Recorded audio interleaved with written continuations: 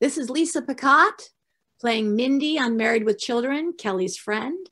This is Harold Sylvester, also known as Griff. And you're you are listening listening to to the the Married Married with with Children Children podcast. Welcome, everyone, to the sixth annual Miss Spring Break Contest, sponsored by the new children's breakfast cereal, Nothing But Sugar. now with Ritalin. And I'm your MC, popular rock TV VJ, and star of three busted pilots for Fox, Dangerous Dan Inwood. Ha! Let's rock. Thanks, Dad. Can I get a whooping?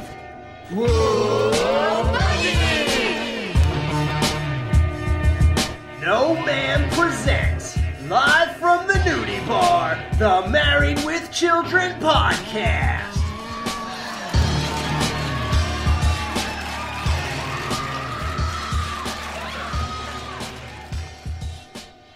Welcome back to the Married with Children podcast. I'm Tyler. This episode is brought to you by the Cologne Hai Karate, the cologne that girls can't resist. Wow. Who do I have with me today? Well, I'm Steven, and I'm quitting teaching and podcasting and sell cans. I'll make much more. You couldn't make less. That's true. And I'm Stefan, and this podcast is also brought to you by the new breakfast breakfast cereal, Nothing But Sugar, now with Ritalin. Yeah, Oh, that's true in this day and age. ew. Yeah. I know. It's, uh, I think, uh, yeah, Ritalin and Adderall, they've replaced the Prozac and uh, antidepressant jokes from the uh, early 90s. Well, I still take antidepressants because I'm a Dallas Cowboys fan. Ouch. Take that uh, uh, Braves hat off, Yeah. sir. This episode is Spring Break Part 2, originally aired on February 25th, 1996, directed by Gerry Cohen and written by Calvin Brown. It guest stars Harold Sylvester as Griff, S. Kyle Parker as Ahmed, Dave Ruby as Hummer, Sean Michael Howard as Barney, Lisa Picote as Mindy, Lisa Boyle as Fawn, Heidi Mark as Ashley, Chris Hardwick as Dan Inwood, Mickey Jones as Parley Wayne, Tanya Watts as Scarlett, Renee Tennyson as Marla, Denise Halsey as Waitress, Brad Nickel as Lifeguard 1, Scott Gurney as Lifeguard 2, Marie Calder as Claudia, Todd Glass as Policeman, Meadow Williams as Angela, and Warren Tabata as Judge Wong. Man, that's a lot of guest stars. yeah. A lot of the same people from Spring Break Part 1. Yeah, but we still have a lot more in here. I mean, there's at least maybe 10 or 12 guest stars. That's amazing. Absolutely. Get ready for Beach Blanket Bundy. This is my impression of a great marriage. A beautiful girl to keep me buzzed while the wife is out of town. A brand new Married with Children tonight. I was going to give our listeners a recap of the episode, but luckily for you, Lucky the dog uh, does it for us. Previously on Married with Children, Bud and his frat brothers had tickets to spring break.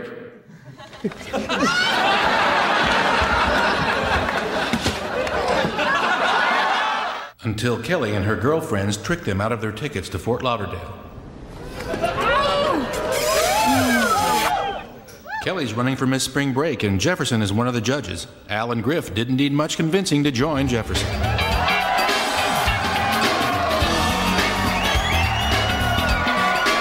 Which inspired Marcy, Bud, and his cool friends to head south. Road trip!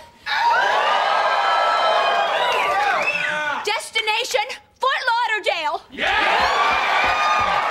So now, thanks to state of the art graphics courtesy of Columbia Pictures Television, let's rejoin Married with Children. Shouldn't this be the um, Lucky, the hungriest dog in the world podcast now?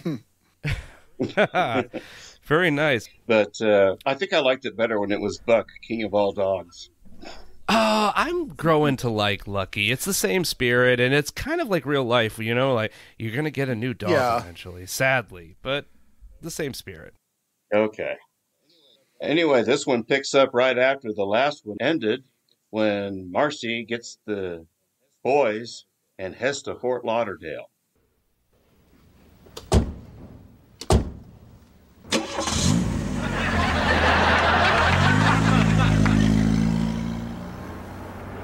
Ninety-eight luscious hooters on the wall. Ninety-eight luscious hooters. If a pair of those hooters should happen to fall. Ninety-six luscious hooters on the wall. Ninety-six luscious hooters on the wall. Will you idiot? Shut up! Sorry, Mrs. D'Arcy. We're just trying to take our minds off what Kelly and the, the Easy Riders did to us. Well, it's a long drive to Fort Lauderdale, so I suggest that you enjoy the beauty of this great country of ours.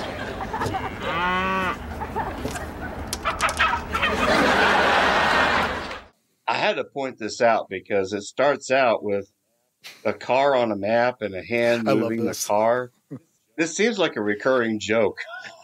It does, and I'm sure we all know what this is a reference to. Um, it's this is from Indiana Jones, the map going across, but I've never seen it done this way. It's very cute in a way. I like it. It's not using special effects. This almost seems like you would see something like this on SNL. Uh, so basically, listeners, in case you haven't watched the episode, what this is is a board or a poster of the United States, like you would see on a kid's coloring map, with a toy car, and visually you see hands open the car door like a Matchbox car, and as they shut it, you hear stock sound of like car doors start, like like hit, and then when you see a hand pretend to turn a key, you hear a car engine start up, and as they move the car, you hear audio of them doing their trip across America. 98 luscious hooters on the wall. 98 luscious hooters on the wall. I I could uh, a road trip with all of them would just be insufferable. I feel bad for Marcy. it reminds me too, and I've mentioned my love for this episode before. Uh, Poppy's by the Tree. Would they do? They do a similar map effect, but it's Yeah. only a oh line. God! They're like, Al, where are the kids? They, like backtrack. I did like the fact that there was less of the of the Buzz fraternity brothers. Yeah, they do show up later in a in a weird way. It's at the end, and I've noticed that uh, you know Hummer had more lines. Ahmed, most of his lines are off screen, and that other guy, I think his name was Bruce or something. He didn't have any lines at all. yeah, he had none. Perhaps they cut some stuff, and we could. I love saying this, guys, out loud, but we could totally uh, ask Michael Moye if we wanted to. But um, maybe they cut some stuff after they aired the first episode, and maybe uh, America didn't react too well with the kids either, and they hacked some stuff out and just held it on the main cast out in uh, Fort Lauderdale. Yeah, for sure.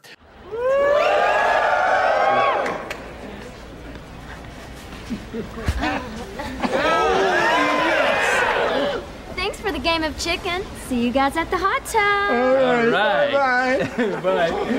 Oh, gentlemen, is this not the greatest day of our shoulders, necks, and backs? Oh, this is the life, huh? A vacation paid for with money from a fraternity scholarship fund. it doesn't get any better than this. Uh, it just did. Here you go, gents. Compliments of the girls in the hot tub.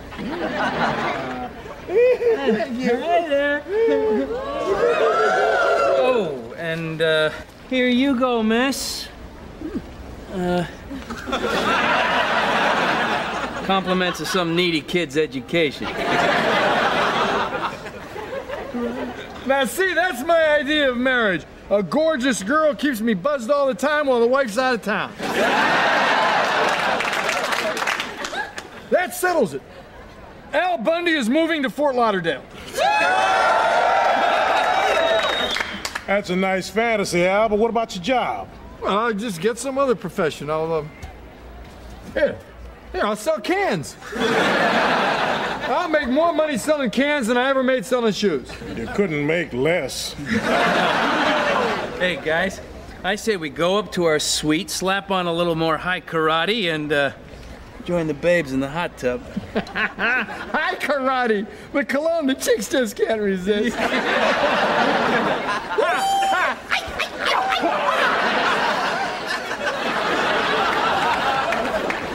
Yeah, and when we get to Fort Lauderdale, I loved Al's lines here. The conversation. Al Bundy is moving to Florida, to Fort Lauderdale. That's a nice fantasy, says Griff, but what about your job?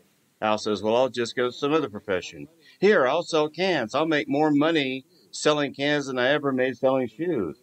Griff says, You couldn't make any less. It seems, with the exception of Griff's uh, really funny remark to that line that seems staged, everything Al said sounds like something I might say having a really happy, nice vacation in the spur of the moment. When you get Griff, Jefferson, and Al together, that's almost like that's even better than the Three Stooges. It really is. Their chemistry, those three together are you're right. Like it is the chemistry between them is incredible. But let's remind our audience exactly why Kelly is there. She is there for the sp- the trashiest contest I've ever heard in my life, the Spring Break uh, Beauty Queen or Beauty Contest. What's that funky smell? It smells like geezer. you guys, I'm starting to get a little nervous about this pageant tomorrow. I mean, I've never been in one that turned out to be real. Kelly, the key is to impress the judges.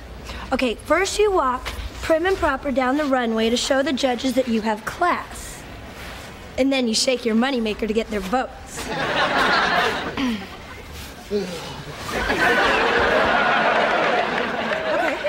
then what? Talent. I suggest how many licks of a Tootsie Pop does it take to make you Miss Spring Break? Uh-huh. This also works if you're ever pulled over for speeding. Then they're gonna ask you some politically correct question. You just answer, I wanna save the Earth and the ozone layer. Okay. What's the ozone layer? It's between the end zone and the P zone layer. Yeah. Yeah, yeah, we gotta save that.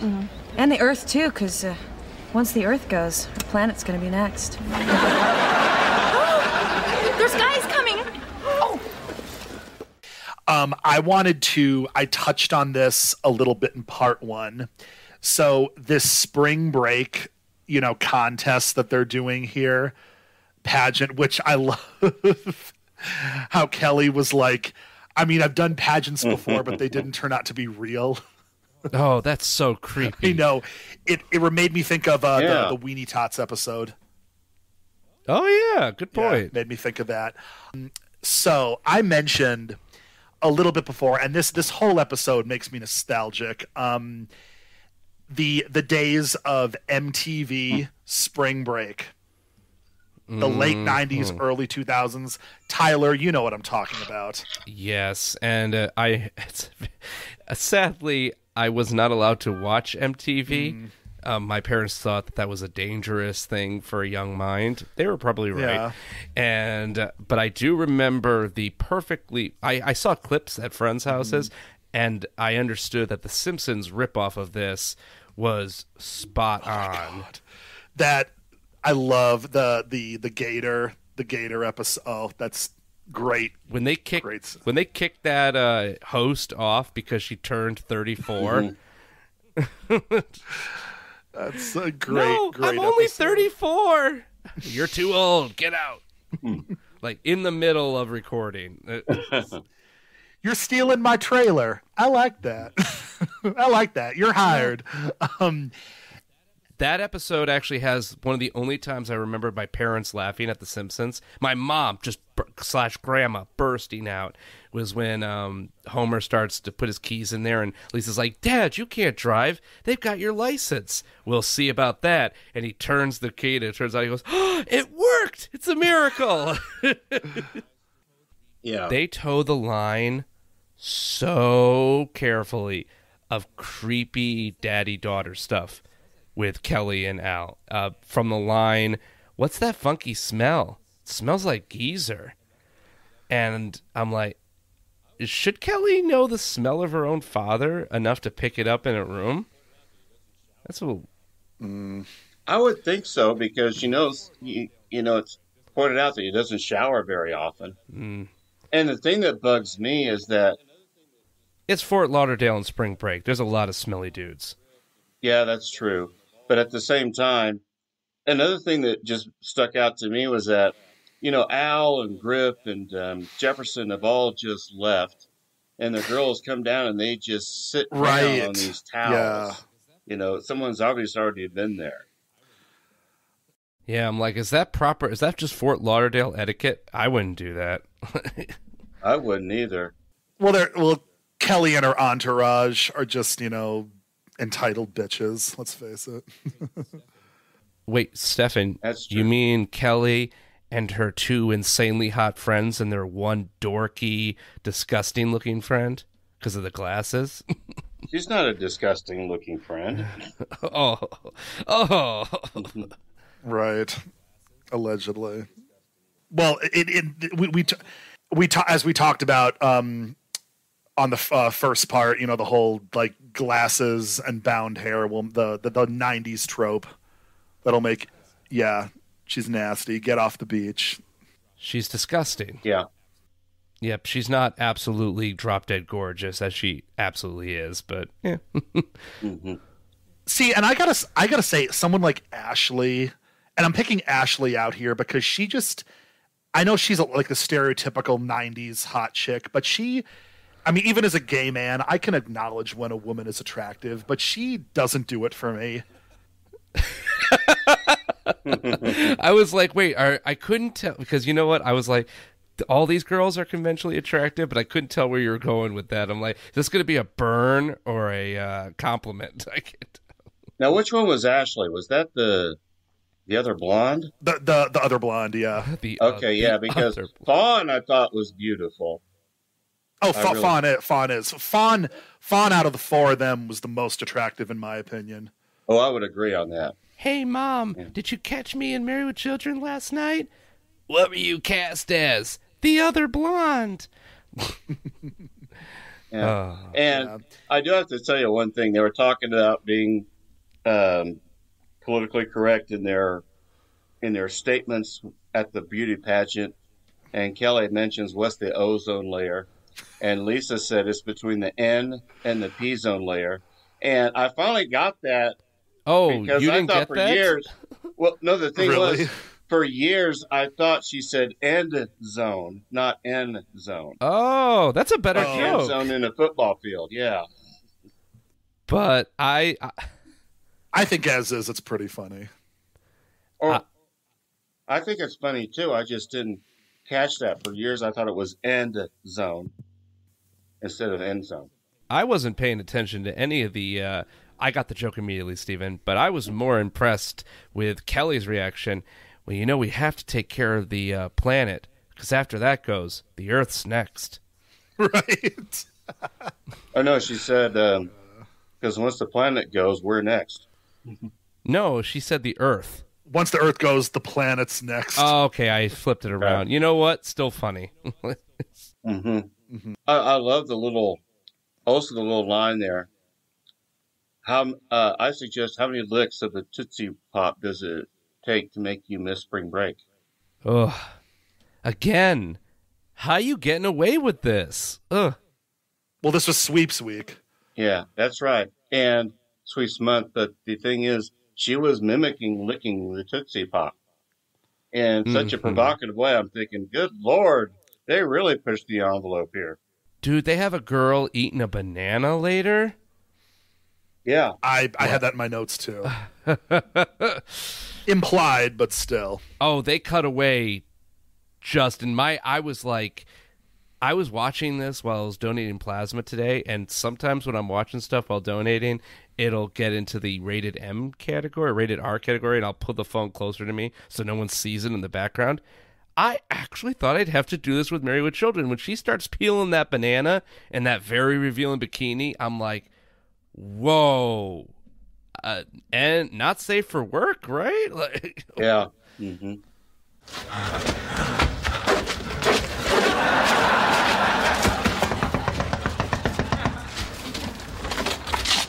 Folks. Harley Wayne, at your service. Hi. My German luxury sedan has broken down after running over one of your state birds. The possum. I'll be needing a tow truck. Well, hell, I'd like a tow truck, too. I'd also like a new wife and some more tea. Look, ZZ Top. We have got to get to Florida. You keep on calling me names, and you just might land there. Look, uh, Mr. Wayne. No, no. Parley Wayne is my first name. Last name is Rockefeller. Had to drop it though. I uh, couldn't spell it. Look, there's there's got to be a way out of here. I mean, a car, bicycle, horse. You're not dating at the moment.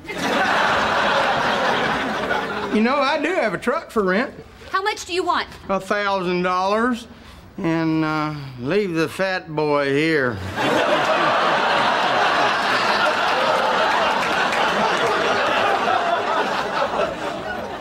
That is an outrage. Yeah, we don't have a thousand dollars.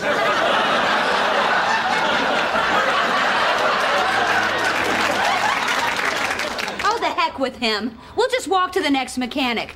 Now, where would that be? Memphis. You know, I sure am gonna miss Hummer. Yeah, but on the bright side, the backseat will no longer smell like sweet tarts. Does anybody remember the name of this Rob Zombie looking gas station that they pull up to? I don't remember the name of the station. I remember the name of the guy. It was Parley Wayne, Mhm. played by Mickey Jones. Yes, it, this Or actually, his name was Parley Parley Wayne Rockefeller, but he dropped Rockefeller because he couldn't spell it. oh man and this gas so yeah this gas station and guys i am i've only i've been recently watching rob zombie movies i think i just watched uh 31 and oh i was getting such get creepy gas station vibes off this guy and i was right because the way they get they bar they rent his truck right for a thousand dollars Yeah, and for the and for the fat boy. Oh, I'm I'm Yeah, surprised same. they got away with that. Uh, That was outrageous. I mean, they didn't have a thousand dollars. Funny. That's one of my favorite. I love that line, and uh, you know, I like to pull that a lot too. Like uh, recently, uh, it was a couple of years ago. Somebody in high up in Washington had his MySpace account hacked, and my comment was on Facebook was he just had his Facebook MySpace account book hacked, and he's in intelligence. That's outrageous. He still has a MySpace Right. account. Speaking, um, check off on it as we said on my old podcast for later. Um, Chris Hardwick in one of his like stand-up specials from like ten years ago uh, talked about like how he viewed his old MySpace page as like abandoned Detroit in um in RoboCop. It's so funny. funny funny enough tyler you mentioned um, a rob zombie movie because i pulled up the imdb page for mickey jones and the first video i don't know if it's a rob zombie movie but it's that guy from one of the guys from the devil's rejects oh, it's probably Ted Mosley. i'm Hmm. not sure because he wasn't in this guy wasn't in devil's rejects i know that for sure Oh, then I don't. I wouldn't know. But yeah, it's Mhm. very hillbilly-ish. This whole scene, which I- I'll bring this up on my final review, but just a little preview for it. Uh, It's one of the weak points of the episode because it's funny, but Mhm. they should do more because they, they don't. And we all of this is to get back to the beach where I think they actually want to want to be. Uh, real quick, also, I do think that Mickey, that scene with Mickey Jones is like maybe an homage to um, Deliverance. Oh, for sure. that movie. yeah Yeah. Yeah, Yeah, I'll tell you what, I'll Yeah. play it on my guitar for you someday. Okay, I know how to do the guitar part. and I love I love Marcy's comments in that scene. I think and I think we even in the the Facebook group this was a post and I I definitely commented where she's like, "Listen, ZZ Top. and we ran over your your Yeah. state bird, the possum. It's a thud of a line, ZZ Top, but it's very realistic because I could see someone saying that in real life to somebody who looks like Rockefeller. Before we move on, uh, too much, could we touch on uh Mickey Jones very briefly? Yeah. Um, Sure. I was just gonna say, yeah, he was a very uh, pr- uh prolific character actor uh, for years. 140 credits Mhm. to his name on IMDb. I most remember him from Home Improvement. He played he played an do too, identical yes. Like a more a more like like sophisticated version of his character in this episode. Uh, Pete was his name. He was a friend of uh, uh, Tim. He was on a construction company, uh, K and B Construction Company, I think, and they made regular appearances once, or they made some semi-regular appearances. Mm, yeah, that's right. show. Yeah, haven't watched that show in a long time. I want to say on the side, that is one show that I think, especially with Last Man Standing having ended, they should try that for a revival. Home Improvement. Yeah, Yeah, that was a good show. A revival with Tim mean, Allen? I think for a story, they should have him and Al uh, revive Home Improvement as like a web series or a podcast, or you know, give it a modern twist. I will say that my boyfriend uh, knows somebody who uh, picked Tim Allen up from the airport, and he said he did not tip him at all. But anyway, so the boys and Marcy are making their treacherous trip. Oh, well, boys minus one of them who was left behind are making their way to Fort Lauderdale, where Al and Griff and Jefferson are already there, as well as um, Kelly and her friends. And they're doing kind of a. I thought they were going to do this longer, but kind of like a rom- romantic comedy in a creepy way because Al and Kelly keep like walking past each other without noticing that they're there. And it's it's interesting that they kind of like held off them meeting for a really funny scene.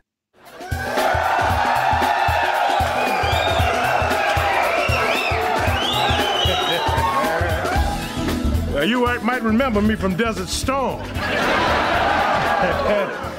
I'm former presidential hopeful Colin Powell. I was going to throw my support behind you. Well, you still can. And then we go into this area where we have to have all these pop cultural references. Of course, I kind of like in Griff. He's dancing with that one girl, and he says, "You might remember me from Desert Storm. I'm former presidential hopeful Colin Powell." R.I.P. Colin Powell was born April 5th, 1937. He was an American politician and a retired four star general in the United States Army. During his military career, Powell also served as National Security Advisor from 87 to 89, as commander of the U.S. Armed Forces Command, and as chairman of the Joint Chiefs of Staff from 1989 to 93. Holding the latter position during the Persian Gulf War, Powell was also the first and so far the only Jamaican American to serve on the Joint Chiefs of Staff.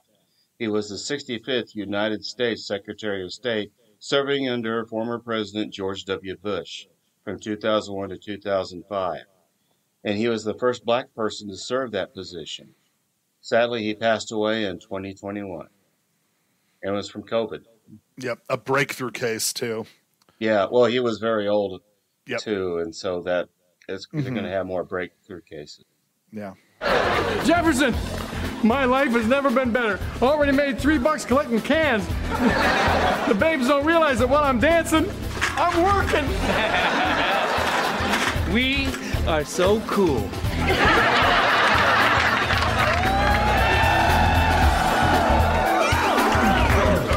Excuse me, Kelly. It's okay, Dad. Pumpkin, what are you doing here?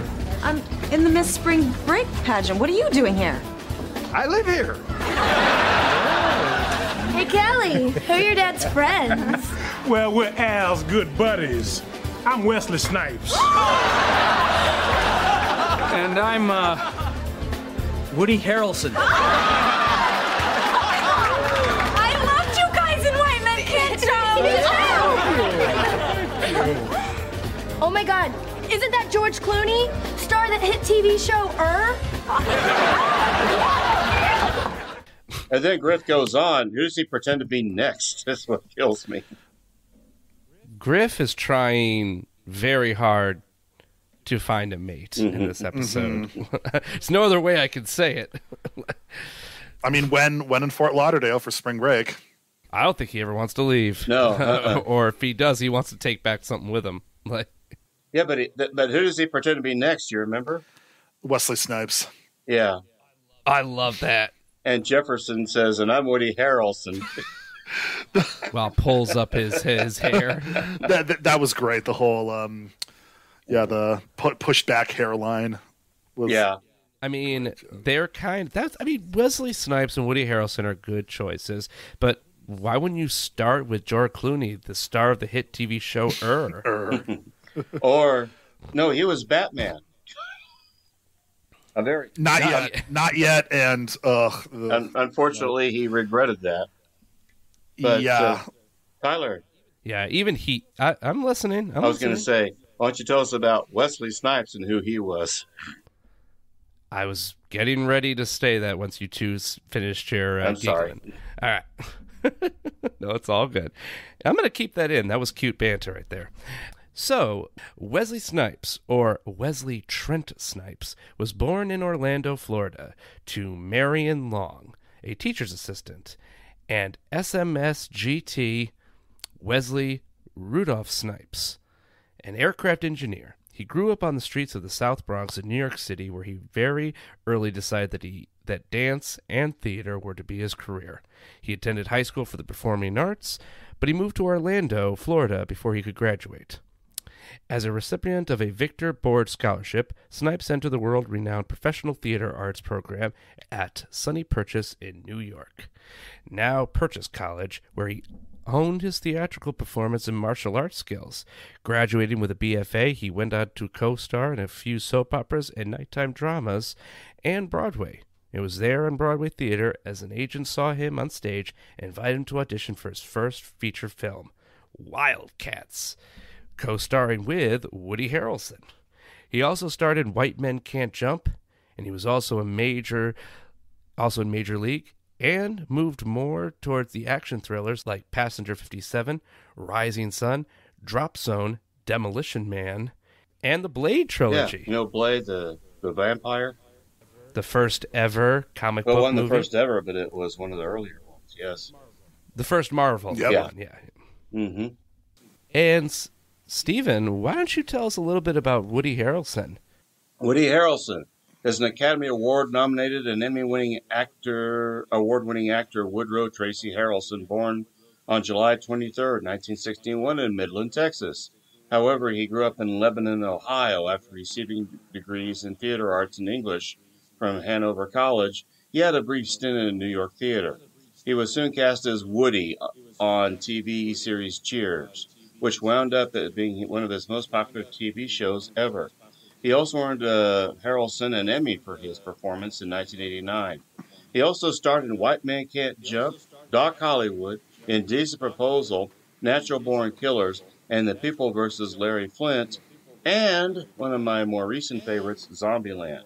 And Stefan, why don't you give us a little background on George Clooney?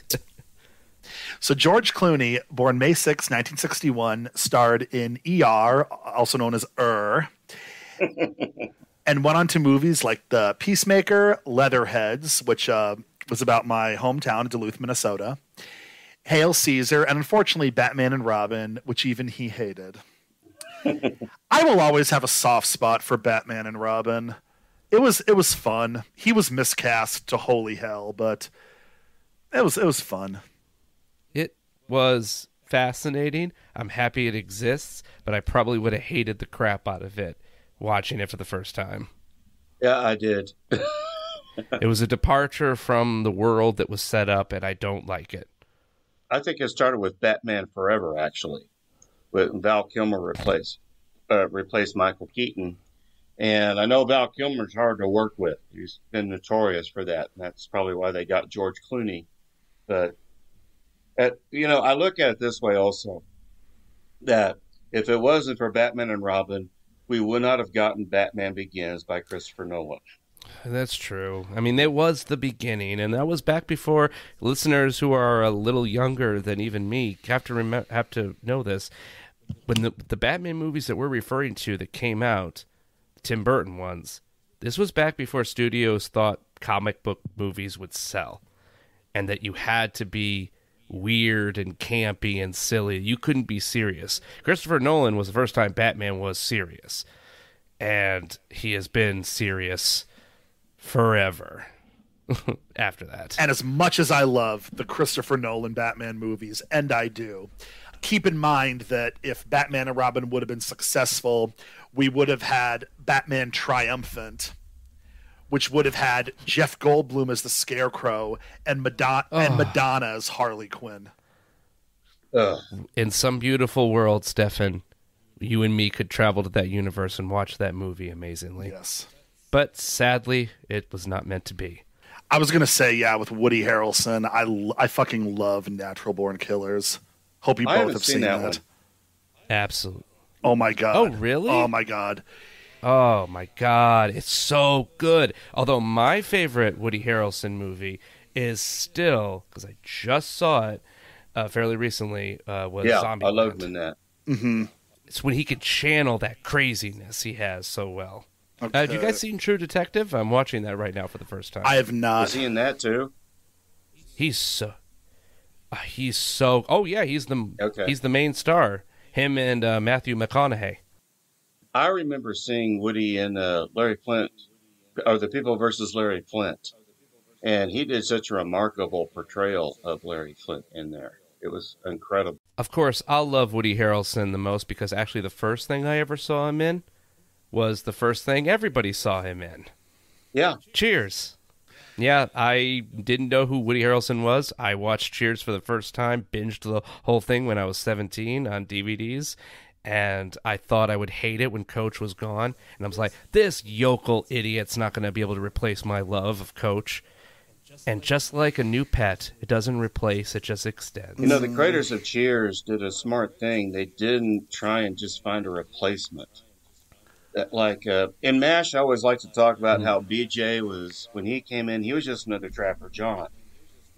I always appreciate when they do something different. Like when Winchester came in, he wasn't going to be a buffoonish Frank Burns. And I feel the same way with Woody Harrelson. He wasn't just another coach. He was just a totally different character. Mm-hmm. Or Lucky the dog. So Or it's- Seven. Mm. We don't speak don't of talk that. about I Seven. beg your, Only the only Yeah, the I David beg your Fincher forgiveness. movies. Never. I beg other. your all's forgiveness. Oh, speaking of which, uh, Stephen, uh, you like the movie Seven, right? Yes, I did. Oh, then you're definitely gonna like the new Batman movie.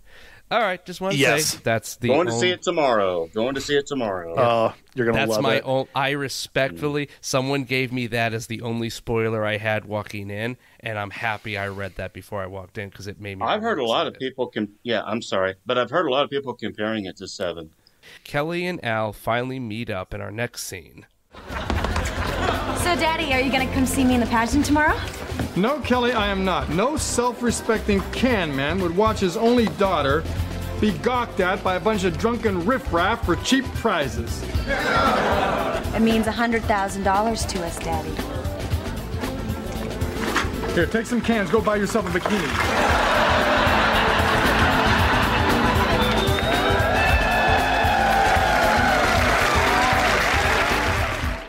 Now, I personally love how much fun everybody looks like they're having in this episode. I can tell usually when the heart is not in it after w- reviewing so many of these episodes. And from my point of view, I think Al, Griff, Jefferson, the girls, Oh, absolutely. even the extras, everyone looks like they're just having a ton of fun on this fake beach. I think we mentioned this last week that uh, I remember Harold Sylvester in his interview saying he enjoyed making this two-parter a lot. That might be why my instinct is uh, is, is kicking in because I'm just remembering that now. You're right. If you guys haven't listened to our interview with Harold Sylvester, who man who plays Griff, absolutely listen to it. So we've got the scene where Al and Kelly are dancing around, but they don't know each other is there yet. And they bump into each other and have a Looney Tunes ish. oh, sorry, Kelly. Oh, excuse me, Dad. But Boom, boom. You're here. I was kind of trying to figure out where they were going with it. Did did they mention the hundred thousand dollar prize? I don't think in the they first did. episode. Stephen, I don't remember if they did in the first episode. I don't either. But I like the conversation that they have. Daddy, I'm in a contest, and he says that's horrible. That you know I'm your father. I It's don't so- like so that, on brand Daddy, with Al $100,000. Bundy. Well, then let's go get a new bikini.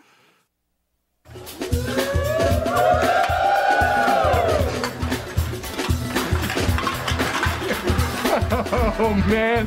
You know, if I started this right out of high school, imagine how many cans I'd have by now. what am I talking about? I don't need cans.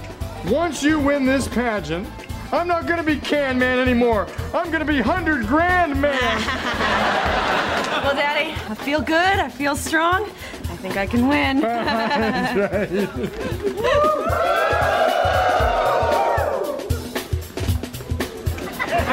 Daddy, you gotta do something. You gotta do something, please. Ellie, we met the cutest lifeguards. And they want to share a keg with us. But only one, because we're on duty. Hi, Daddy.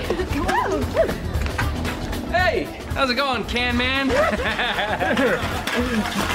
Just great. Jefferson, I'm counting on you to vote for Kelly. oh, yeah, you got my vote, Al, but there are five judges. She needs three votes to win. So who are the judges? Oh, a couple former pageant winners and two of my fraternity brothers, Wong and D'Angelo. Well, that's no problem. We slip them 50 each and Kelly's in. Al, brothers Wong and D'Angelo are beyond reproach. Beyond reproach and rounding second base. Jefferson, you've got to name me and Griff as judges. Oh, I don't know, Al. The only way that could happen is if two of the other judges became incapacitated. Now, you may remember me from TV. I used to play Theo on The Cosby Show. I love you. I used to kiss the TV whenever you came on. Oh, Theo. I need to talk to you alone right now. Not now, Al. I'm with my number one fan. This involves 100,000 bucks. Bye-bye. Excuse us, gentlemen. Would you come here a second? Right this way now.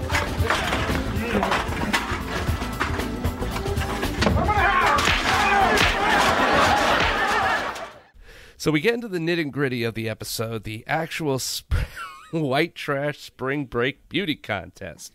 Kelly and so Kelly and Al are now on similar foot about why they're there, and Al really quickly agreed to this with, I guess, a hundred thousand dollars is the price he'll pay for his daughter's dignity. I feel like Yeah. it'd be much less. That's what I. so that's a lot of money. I, I, I would, I would be like, you know what? Okay, cool. Even me, I, I would be fine with that. That's a lot of money. Yeah. Mm-hmm. And you know, he remember he was willing to walk away from Peggy in Ship Happens Part Two for five dollars. I thought it would be way more. No, she said. I mean, I'm sorry. I thought it would be way less. Griff then likes to compare himself to somebody else. Theo on the Cosby Show. oh. I mean, yeah, but also, how stupid does she does he think these these women are? Apparently, stupid enough because she totally buys it. Yeah. Oh, there are two times women almost drop to their knees for our man Harold Sylvester. Yeah. Anyway, Okay. Theo was played by Malcolm Jamal Warner, born August 17th or August 18th, 1970. He was an American actor, director, and producer, musician, and writer. I didn't know he was a musician. Of course, he's best known for his role as Theo Huxtable on The Cosby Show and as Malcolm McGee on the UPN sitcom Malcolm and Eddie. He also starred as Dr. Alex Reed in the sitcom Reed Between the Lines. and he currently stars as Dr. A. J. Austin on the Fox medical drama The Resident. He also co-starred with Wesley Snipes in Drop Zone, one of my a very low-key action movie about skydiving. I, I used to be a skydiver, so that movie was pretty accurate about skydiving. Good to know. Yeah. I mean, they must be okay. White Men Can't Jump was ninety two. This episode aired in ninety six, so I guess they are trying to like bring up movies and stuff that had these people in them at the same time. Just to that's pretty interesting. They could have just said anybody, but Well, it's a, you know Luigi has talked about this quite a bit. How we're just in pop cultural reference here in the '90s, and that's what Married with Children did. But true, but it also doesn't take away from the uh, No. humor and everything. Because I didn't get a lot of these references myself. First off, so yeah, it was still funny.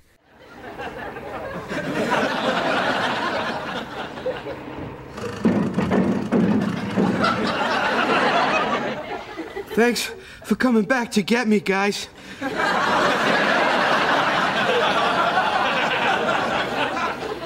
Actually, we just came back for gas, and you happened to be there pulling a plow.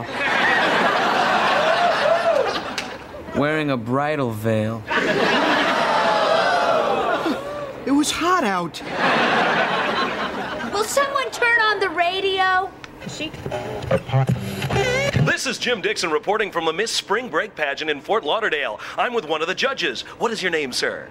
Jefferson D'Arcy. I'm single and free to mingle.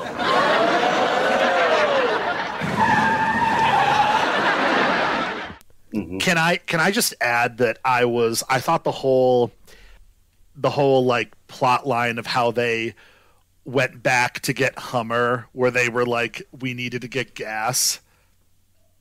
It's like there's no there's no gas stations between Memphis and Atlanta, which is where they uh, were on the map.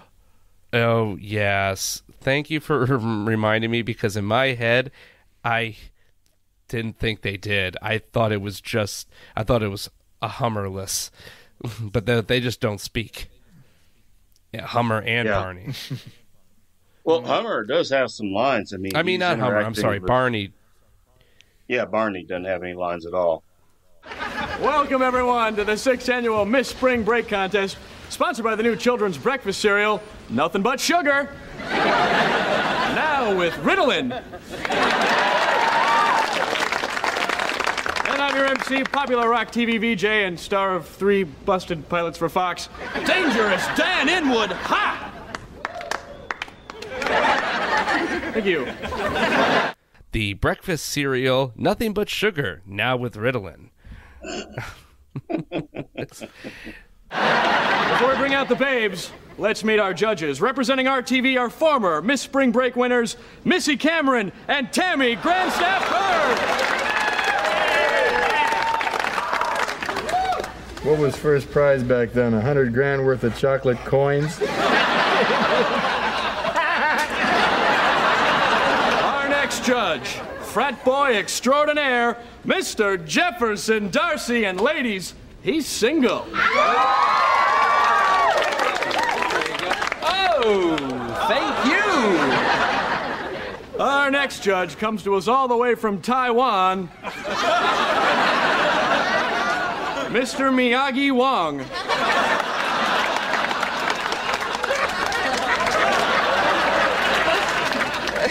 And our last judge, from Fire Island, and organizer of last year's Gay Prance on Washington,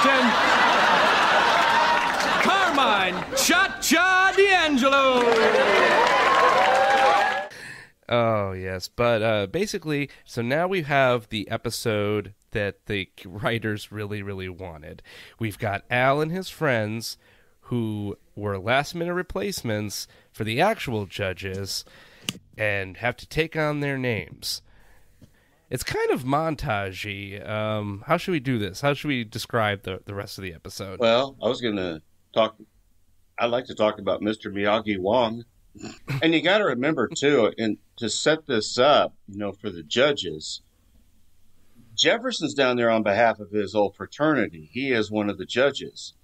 And Al wants to set it up so Kelly can win, and in order to do that, the other judges have to be incapacitated. Yeah, which I thought for sure that with most of Jefferson's stuff that that was a lie. I didn't realize that that was his actual fraternity, but apparently he did. He was in a very uh, diverse fraternity. Yeah, because um, anyway, they're, so they're incapacitated, and they're being introduced still as the same judge. I loved Al because he is introduced as Mr. Miyagi Wong, and Oh my gosh, his face. yeah, and he kind of bows like a Japanese person. and this has to be a reference to Mr. Miyagi, played by Pat Morita in the Karate Kid movie. Oh, absolutely. Yeah, the Karate Kid, the Karate Kid Part Two, and the Karate Kid Part Three, and the next Karate Kid in 1994. Ugh. Who who would ever thunk a future two-time Oscar-winning actress would get her start in that movie? Yeah. You we're talking, we're talking I- about I- uh, li- listeners. We're talking about Hilary Swank, by the way. Sorry. Yeah, that's right. I forgot she was in that one. I never saw it though. And It's- ha- it's dreadful. you- yeah. Have you guys seen any of Cobra Kai yet? Yes. It's Okay. no. that is it, it is it is how you do a reboot. It's incredible. It's perfect. And, you know, I grew up on the Karate Kid. It was at the theater I worked at in high school. Started out with small crowds and really grew. And I love it. And I love the way they've even redeemed the Karate Kid Part Three, which wasn't that great. It was okay, but uh, I love bringing Terry Silver back, as well as um, oh uh, Martin Kove. Mhm. I don't want to. I don't want to reveal anything. What about but still, the- it's Yeah. fantastic. Well, because I'm a little uh, I'm a little younger than you, Steven, as we pointed out, my Karate Kid is sadly what I thought was a really, really, really good reboot, the 2010 one with uh, Jaden Smith, which proves that Jaden Smith is a good actor when his dad Yes. is not directing. Hmm. Never thought about that. And I'm a Jackie Chan fanatic. There is not a single time Jackie Chan's going to show up that I'm not immediately going to love. Uh, even if I admit the movie sucks, I'm happy if Jackie. Oh, I love Jackie Chan. He's great. It's just that I don't. I never.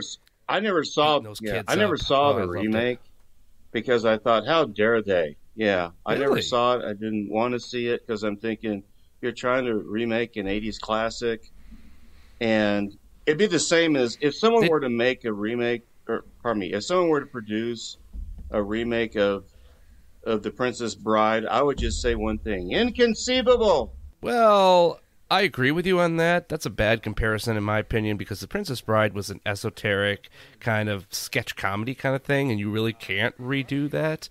The Karate Kid was a very thematic, uh, theory driven film with a lot of elements that could be redone, and I personally think you, I, I liked it. I liked the new one set in China, where it's kung fu, not karate, and the relationship between Jaden and Jackie Chan really does have this kind of sim. It has a similar emotional weight as Miyagi and Daniel-san. Uh, What- yes, I did you see it? I don't remember a lot about it though. Pick up your jacket. Hang up your jacket. Now take off your jacket. I love.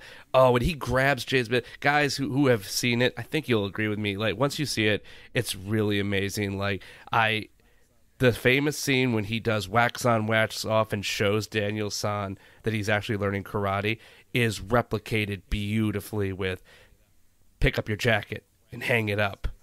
And he just grabs Jane Smith's like, like wrist and smacks it. He's like strong, firm, and Jane's just like, "Oh shit, I'm being schooled here." it's so great. Don't question the master. All right, so yes, so Al is Mr. Miyagi Wong, and Stefan, who uh, did Griff. Ah, wonder why you picked me to do uh, this. Because you're on the episode. Get Um, with it. And our last and Steven took the first one. Sorry.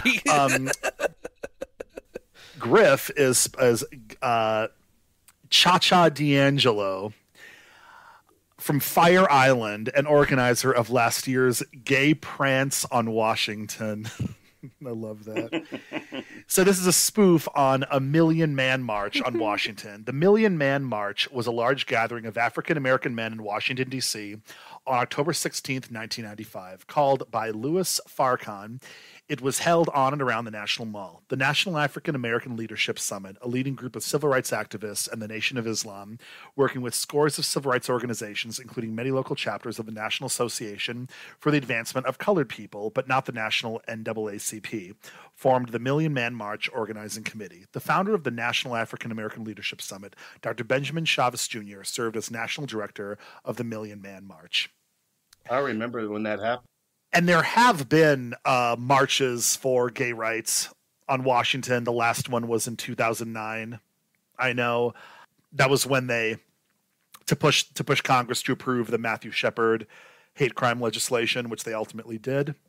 Now there was no march for it, but there was a big demonstration uh, at the Supreme Court when they were hearing the uh, Obergefell v. Hodges, the case that legalized uh, same-sex marriage uh, across the United States. And I was actually there. And if you go back on my Facebook page about uh, seven years ago now, you'll see pictures.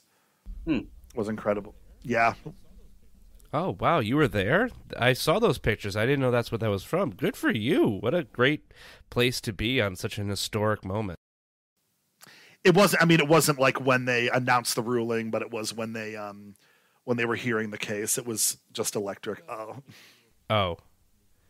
Well, Yeah. I mean, Oh, yeah. you were part of the movement that was happening, and that good for you. Like that's a huge thing. I love the idea that somebody 15, 20 years from now would be listening to this podcast and going, "Oh crap, this was very soon after they legalized gay marriage. Can you believe it took till that time to do it?" yeah. And hopefully we don't, you know, backtrack. I'm a little worried on a side note, but whatever. Fingers Mhm. crossed. We haven't backtracked on a few things, so fingers crossed. I doubt we will on that. Mhm. But And now let's meet our five contestants. Miss New York, Claudia Harrison. Miss Atlanta, Scarlett Turner.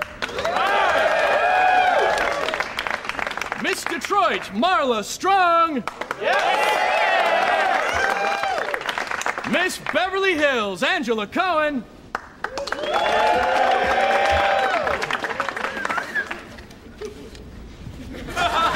Well, she's got my vote. Ow. Sorry, Al. Was a moment of weakness. Uh, how much for a lap dance?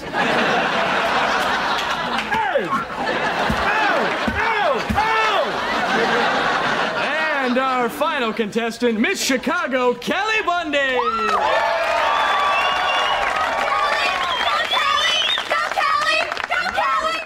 Yes. So we move. We move down to our actual beauty contest, and we've got three. We got five contestants, uh, along with our main girl Kelly from Chicago.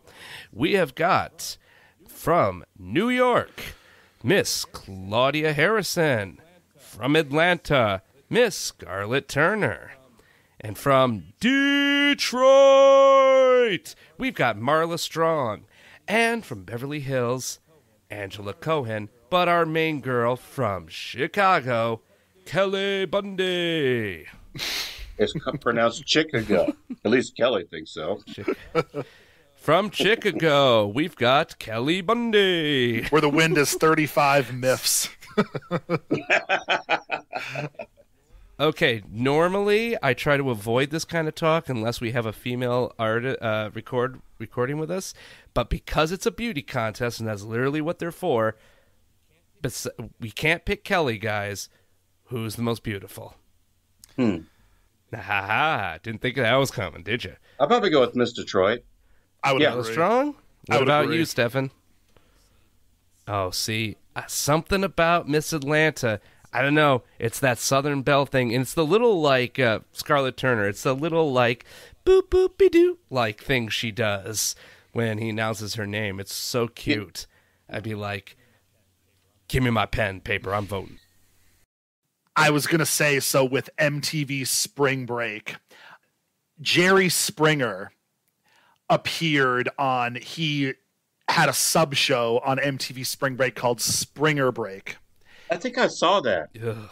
Yes, and one of the um, po- uh, portions that they did was Spring Break King and Queen, where there were couples competitions, and it, typically it involved them like somehow getting naked on stage.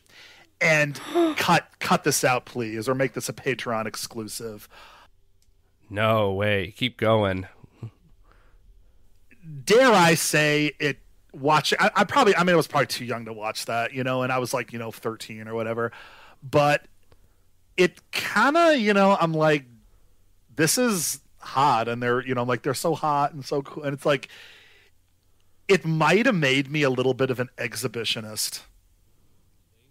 Links to this episodes will be in the show notes. Become an exhibitionist like you can't uh, i mean I, you, you can probably find clips of it on youtube stuff i think they're gone but there was just like and they had like these um another segment spring break fantasies where people would do st- like crazy stuff on stage. And there was this one where there was this this this girl in a bikini like covered herself in honey and rolled around on feathers. What the? F- did this like prelude Girls Gone Wild videos? Because this sure I sounds like did. where Yeah. this is headed. And I remember those infomercials Ugh. at midnight going, Am I allowed to Hmm. watch this? I wouldn't have been if they had known. But uh, anyways that, that's um, just a real like memory and it was like just really oh just like you know the you know as a kid the closest thing you know you had to porn Yeah. There was a, and that was here on Stefan's Real Memories. I remember uh, this one. I think it was in the '90s, maybe in the early or mid '90s, and I caught a little bit of it, and it's kind of relevant because we're going to have this uh, person come up here pretty soon. But Joey Lawrence was pretty popular, and he was judging a bikini contest. i know where this is going Yeah, and these girls came out and they were just like barely dressed, and the camera went on um, Joey Lawrence, and his mouth was like his jaw was dropped open, and he was like shocked at seeing all these girls. And I, I heard someone comment on it years later that I think he went through puberty right at that moment. Yep. But it was it's it was something just Well- of the times of the time, and it's not like you know that it's never been replicated. Unfortunately, MTV has gone downhill for so many reasons, and we can. T- Guys, yeah, I'm so sorry, Stefan. I I just want to mention I'm gonna be, I'm gonna be putting this in right before you just brought that up because it's very important. Uh, you brought up you both brought up your spring break um, medium from the uh, uh, your spring break memories on television. Well, I have one too. I swear I saw it air and now and then it vanished, and I had to find it again through a torrent. The banned Pokemon episode, Spring Breaker. I can't remember what it's called, but basically, it's where the the gang is. Uh, for those of you never seen Pokemon, it's I'm not going to describe it. Go check it out. But the Ash and his friends are at a beach, and to earn money, they kind of prostitute Misty out on a spring on a uh, beauty contest, and she complains about the size of her chest. And then Team Rocket shows up, and James dresses up like a girl and gets fake boobs that he can inflate. And they're like, we're going to get all the money, not like you with your tiny chest. And people are like throwing money at James as he's walking down the stage. So this that episode aired around this around 94, 95. So you're right. Spring break beauty contests, that kind of stuff was just in the zeitgeist. Pokemon's that old. Oh, it came out in 94. Oh, because it, it didn't it didn't hit the U.S. till like '99, I believe. True, but this was an episode that I saw this before it was released, and I think it never actually got aired, but uh, in America because the version that I remember watching was subtitled in Japanese. Mm. But like, yeah, beauty contests that was just a thing we were all obsessed about for some reason for about a decade. Let's begin with the talent competition. It's time for No Ma'am to take a little break in the Jiggly Room. I'm the DJ, and I'm gonna play a little bit of music that was on this week's episode of Married with Children.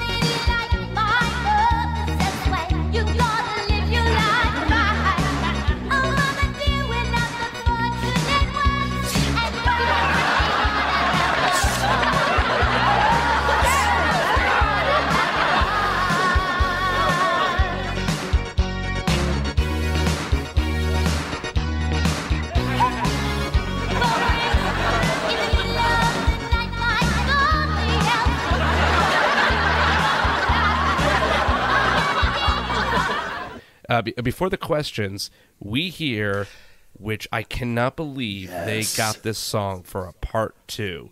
A very expensive song by Cyndi Lauper. Girls just want to have fun. I thought for a while we were just going to hear the music that do do do do do do. And I was like, they did not pay for Girls Want to Have Fun for this. And then she starts singing, and a girl is singing that song as her as her like talent. And I think she, they what was the name of that chick who uh, uh, was appeared that she was lip singing?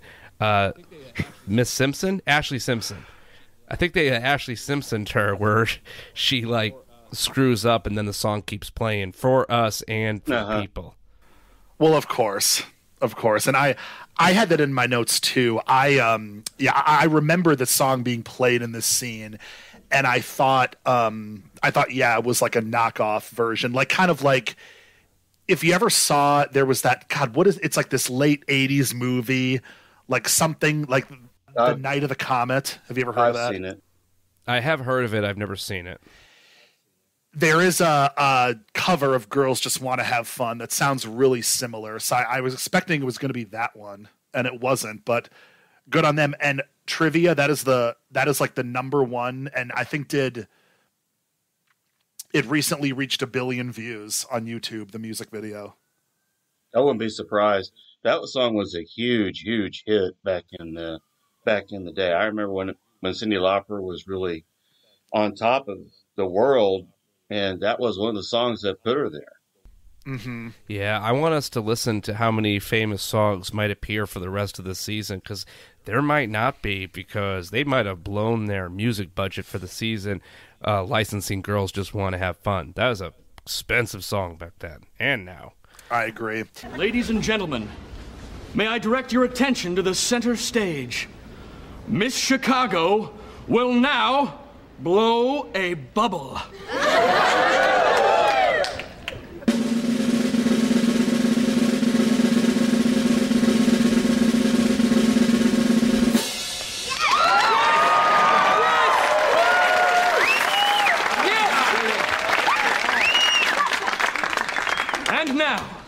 Miss Beverly Hills will eat a banana.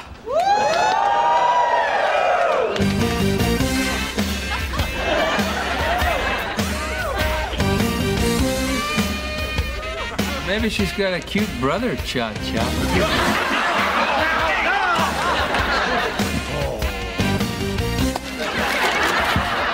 Okay, ladies, you've proven yourselves to be incredibly beautiful as well as very talented. So uh, now let's see what you've got upstairs. No, no, no, no, no, no, no, no, no, no, no. I mean, uh, I love Dan Inwood. Let's see what you got upstairs. They all start to pour their tops. No, ladies, don't. No, no, no, as they start to take their tops off. And going back to the beauty contest that we're having on this episode, something that stuck out to me when they were doing their performances, like Girls Want to Have Fun, and the one girl had a ventriloquist act, which is really dated, but you know, I was amazed by all the subterfuge that these gir- that Kelly's friends were doing to help her win, like blowing pepper in one girl's face, and even Mindy, you know, Lisa Picotte, she participates in this stuff. She they throw marbles down on one girl who's uh, dancing, and then they, Lisa and Mindy gets a, a magnifying glass and aims the sun on the on the ventriloquist dummy, and the hair catches fire. With the weird Star Wars like 70s uh, special Oh yes, effect. I forgot about Yeah. that. hmm And then they go to the contestant questions. Let's move to the question and answer part of the competition. We'll begin with you, Mr. Detroit. Now, uh, your question is what would you do to end world hunger? I would tell the hungry people of the world to take smaller bites and chew your food thoroughly. That way, your food will last longer. I love that. Okay, so these girls are stupid by normal or like they're like dumb bimbos from normal dumb bimbo style because the first girl goes, "What would you do to end world hunger?" and she says, "I tell the poor people take smaller bites and chew their food thoroughly." that would help. That, it's like, ugh, ugh. and that is a over the top dumb bimbo question because at least she's answering the question correctly. It's a dumb answer, but it's a It's an relevant. answer. It's a relevant answer, yeah. Now, Miss Chicago, your question is what world leader do you most admire? I would like to save the Earth and the ozone layer. Thank you. No, oh, thank you. Our Kelly has to be the stupidest girl on the show, period. So somebody, we should keep a lookout for this, guys. If somebody is more stupid than Kelly, Kelly has to out stupid them. I mean, I think I think uh, Amber comes close. Or no, no, no, not no Amber. Uh, Ariel. Ariel. What was Ariel? Yeah, that's the girl who becomes Bud's girlfriend for a little while in season 11. You know, she was the one we interviewed not too long ago. Oh, yeah, I forget yeah. her. Good point. Jennifer Lyons. That's it. But- Spoilers. Yeah. God. Yeah, and that that'll be out probably before our Tyler, your and I's last one. But it's the books. Mm-hmm. Yeah, but yeah, you're right. The one girl does answer the question. and you you have in the notes, and I have this in my notes too. Kelly's answer to so um to, to the question of the world leader you most admire. I like to save the Earth and the ozone layer. That look on Al's face. Yes, it's, It's- great. The look on Al's face. It's a great example of what Amanda Bearse uh, said about how Ed O'Neill would have been a great silent film star. Yeah. Mm-hmm. Yeah, Al, uh, Ed O'Neill's got a lot of good ones in this episode. Uh, where specifically when he gets it, when he stands up and he's introduced as Mr. Miyagi, like the, it's the growing look of oh f me kind of. I didn't think about this kind of like idea. Well, now let's keep things bouncing with the swimsuit competition. We'll begin with Miss Beverly Hills.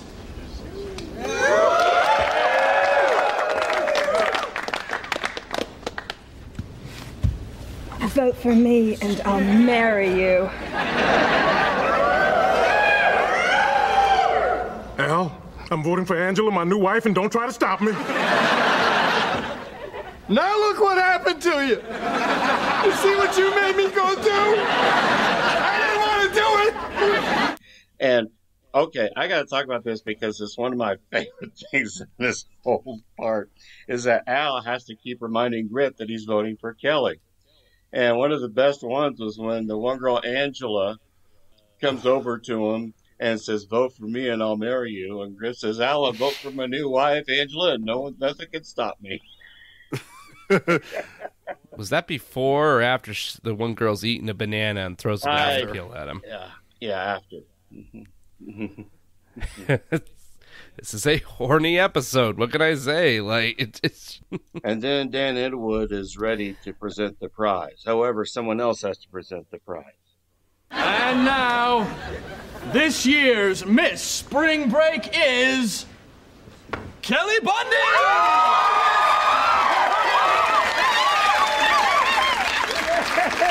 No more cans for me. From now on, I just pick up champagne bottles. and here to present you with your prize, TV heartthrob Joey Lawrence.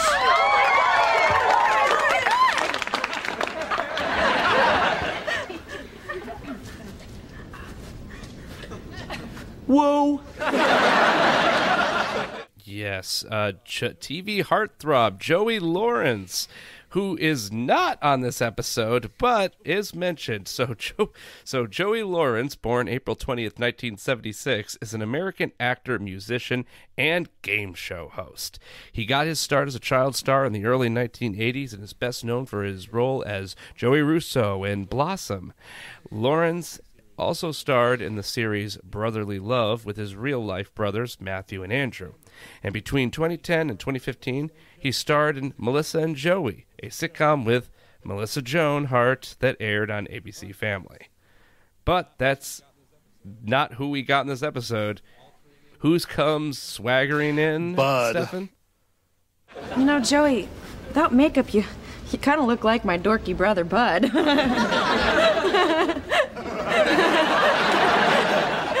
I am Bud, you, you beach blanket bimbo. yeah, yeah, you and the uh, three slutketeers thought you could just rip us off and leave us freezing in Chicago.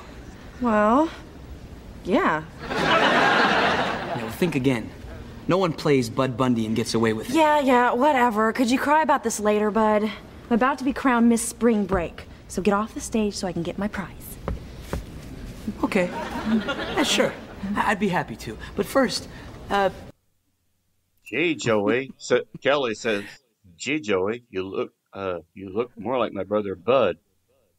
When you don't have makeup on, you look like my dorky brother Bud. Oh, yeah, that's it.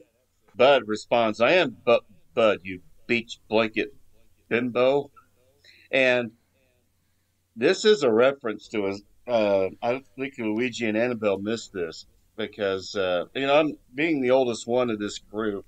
I remember this movie, Bleach Bake, Beach Blanket Bingo. It was a 1965 film starring Frankie Avalon and Annette Funicello. It was their fourth of their highly successful Frankie and Annette beach party movies. A motorcycle gang led by Eric Von Zipper kidnaps singer star or singing star Sugar Kane, mangled by bullets, who hires skydiving surfer Stephen Bonney from a big drop for a publicity stunt.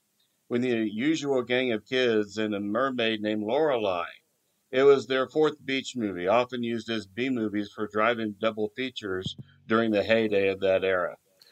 I, I've seen that one. I saw a few of those, and they are just worthless movies. I mean, they're cookie cutters.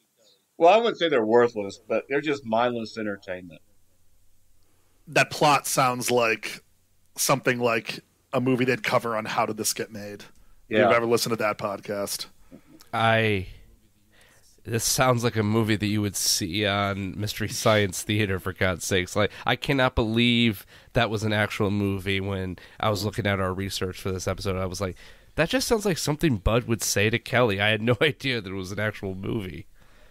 It was a movie, and like I said, uh, it was before most of the people's, most of you, everyone's time, except for mine, because you can see those types of movies on a Saturday afternoon in the '70s. You know, the mid late '70s, even early '70s. Thank you, Grandpa Stephen. I'm old enough to be a grandpa. Now, um, oh, and ha- and happy. Oh, yeah, I totally forgot, guys. Little side uh, swipe, and for everybody on the uh, listening on the podcast, let's all wish Steven a very happy belated birthday. Thank you. Happy, birthday, Steven. It was a happy birthday. I spent it in my birthday suit. No, I'm kidding. What was the? uh I was thinking we could all like. What's the one birthday song that pops into my head? Is the one from Futurama? Today is your birthday. Today is the day. It's Steven's birthday. What a day for a birthday. Now let's all have some cake. I don't remember that one. Well, you're not allowed up until like 2010. You couldn't sing "Happy Birthday" the actual song because those horrible sisters from the South Mhm. copyrighted the dang thing. So every show and movie had to come up with a different, their own version of a birthday song, not the one we all sang. Yeah. Oh, I knew about that, but yeah, I'll tell you, it didn't stop anyone. People were still doing it at parties. Oh, you can do it at parties. You just can't do it on like a paid for show or something that where you have to Oh, get I see, copyright music. Like, I totally forgot. I should have brought it up when we did Girls Just Want to Have Fun, but they probably had to pay for There She Is, Miss America. Ladies and gentlemen, I just want to apologize for taking up your time. I, Joey Lawrence, would just like to congratulate you, Kelly Bundy, and Judges Wong, D'Angelo, and D'Arcy. Otherwise known as her father, his shoe selling sidekick, and our soon to be choked out next door neighbor.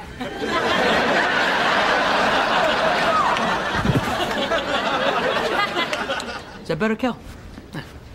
well, I guess my brother, uh, Martin Lawrence, is, has thanked just about everybody, so I guess it's time for me to uh, collect my prize and sing my coronation song, right? Okay. Here I am, Miss Spring Break. Here I am. There they are. Let's get them. Mr. Bundy, you're being charged with fraud and assault. Would you like a lawyer? Do You, you know any that take cans?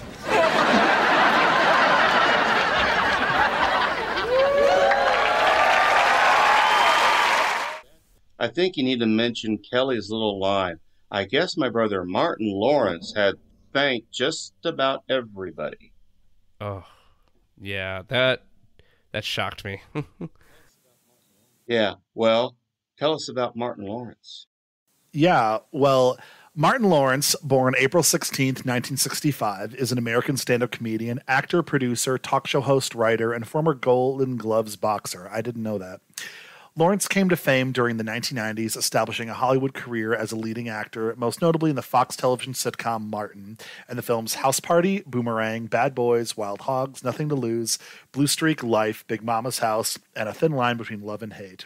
Thank you, Stefan, for that. But we are at the tail end of the episode where Kelly wins, but a lot of craziness happens in the last two minutes of the episode. So Marcy and the boys show up. They the frat boys attack Kelly's friends, and Bud drops the ball on everybody, claiming who Al is and who the friends are. Jefferson didn't do anything wrong because he's supposed to be there, and Griff is passed out. I think and Al is arrested and w- for fraud and other crap just hauled away and meanwhile Kelly through a midst of hail of uh, beer cans and booze walks around singing and on the stage there she is Miss America I think you left out one thing that happened. what Marcy is choking Jefferson. oh yeah yeah yeah yes yes soon to be dead soon to be strangled You mentioned Jefferson didn't do anything, but yes, he did. He lied to Marcy and also claimed he was single on the radio. I meant legally Got it. Yeah. He didn't assume any name. He was supposed to be there, but you're right. He was not supposed to be there, period. He was supposed to be at because- computer camp. Yes. I forgot about that. So weird. At, but at that point, Marcy, it's like, you know, come on. Just you you should know better than to believe Mhm. that. And with how this episode ends, I will leave that to my review. The only one who's a winner in this entire episode is Bud, and I kind of love that. It's like Me when Tom too. wins in Tom and Jerry, it's it, it's nice when Bud comes out on top. or underneath. I liked it. He'll take it where, at, in either position. Right. So- I mean, so speaking of, we mentioned him in the last episode, and he still is on this one too. Uh, Chris Hardwick, you could kind of tell in this episode is when he started kind of almost making fun of himself, and you know he kind of made a career out of being this, you know, kind of like not a hack, but like you know what I mean, someone that just kind of like works consistently, you know, but doesn't really have an establishment like the the you know the commentary shows that he does.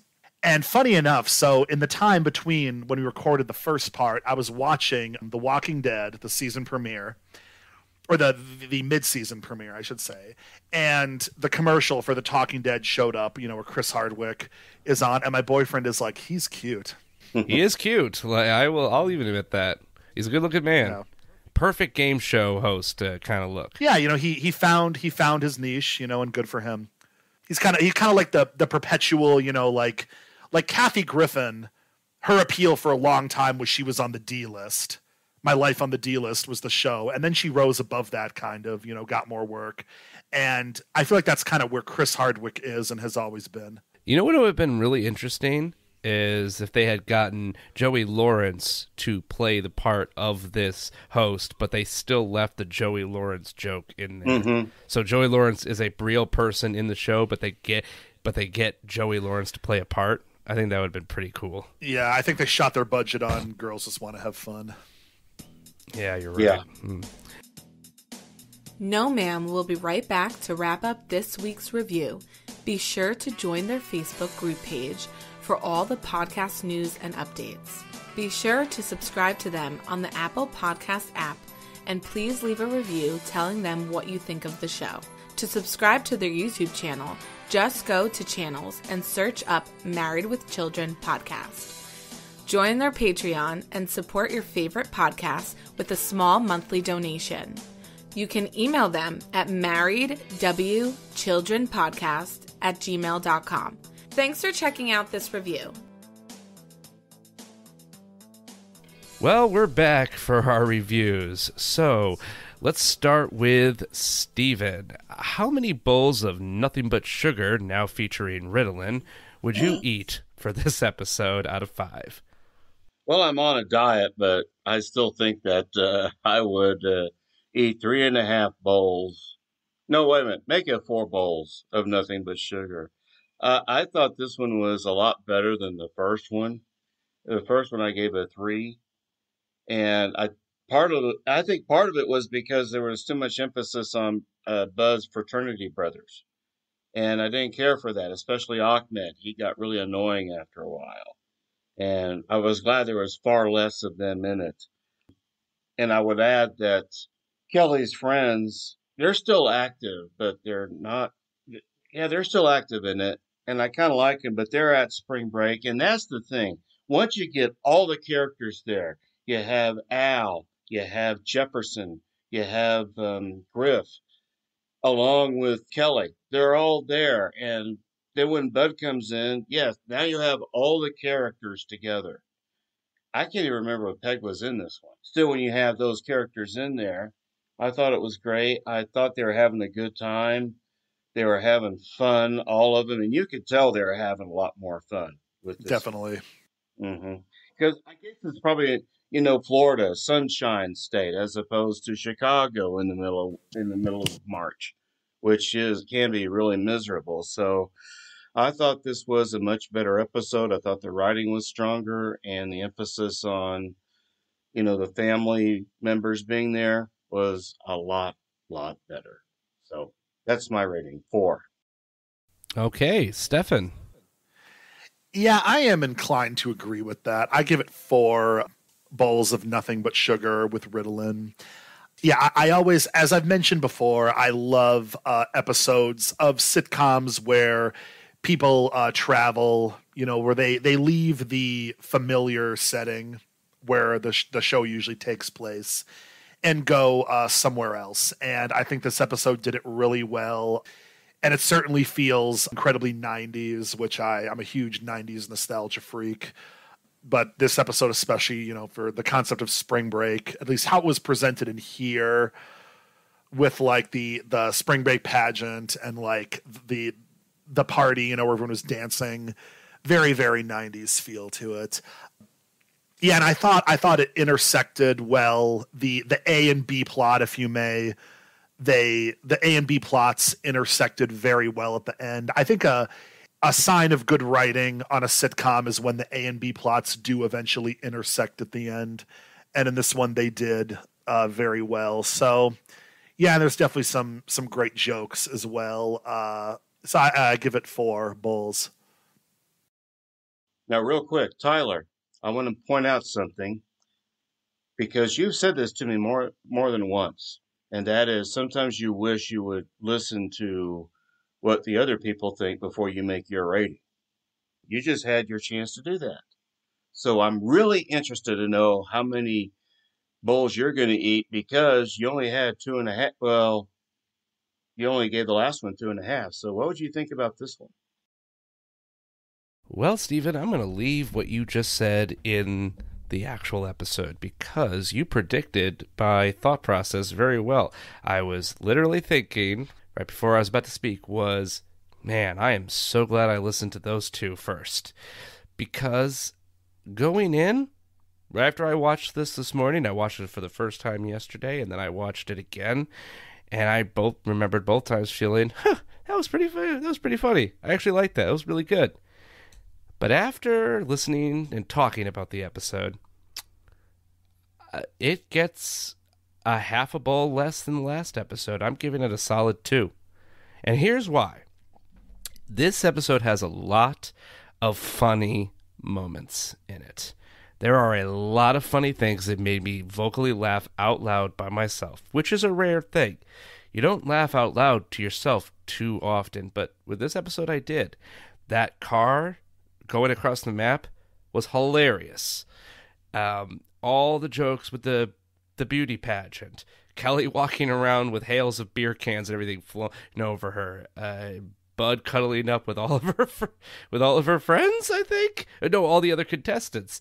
It just all of that was great. However, I I have to I have to like bring out the problems that I had with it, and that is it's a part two, and they kind of did what I believe they wanted to do rather than what they already kind of wrote themselves into and this is going to sound weird. It's going to sound like what I recommend them going to be doing is going to make this a lower episode, and it probably would. However, I feel like I'm grading this like a paper rather than, or in a screenwriting class rather than a successfully executed on a uh, desert an enjoyment level, because I personally think this sh- if you're going to have this awesome map and have Bud and his fraternity brothers driving across the country, then that needs to happen more often throughout the episode. We need to be cutting back to them. They didn't do that. Therefore, this should have episode should have began with Bud and his fraternity brothers and Marcy already at the beach playing a little vice versa where they have that idea where Kelly and Al don't know the other one's there. They could have done that a three-way. That would have been really funny and these actors are dynamic enough where they could have pulled that off. And it's the ending seems like it came out of nowhere, like they rushed it up, and Al being hauled away. Very Looney Tunes, and I get it. The show's heading in that direction, but the writing to me wasn't as tight, and it seemed a little scattered, and I had a little trouble remembering a lot of the stuff that happened in part one, and I specifically did not watch part one right before I watched part two. I treated this like I would have been an audience member back in the day and having it aired a week in advance. So have watching it one week and then watching it another week. Th- This episode should connect the uh, first one perfectly. And Stephen, as you brought up, the fraternity brothers, whether you like them or not, they were integral to the first part.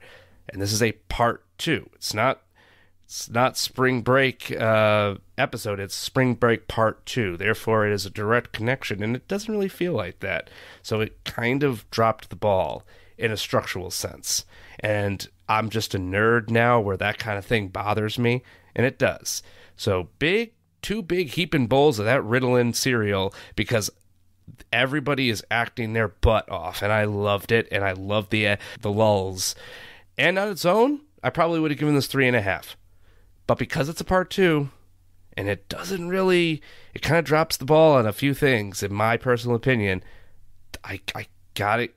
Sorry, you guys should know how to do this by now. They did, and I, and you know what? And to anybody who's probably arguing with me while they're listening to this right now, think of the England episodes, part one, two, and three. How beautifully those three just, it's like one gigantic episode beautifully outlaid a whole crazy story.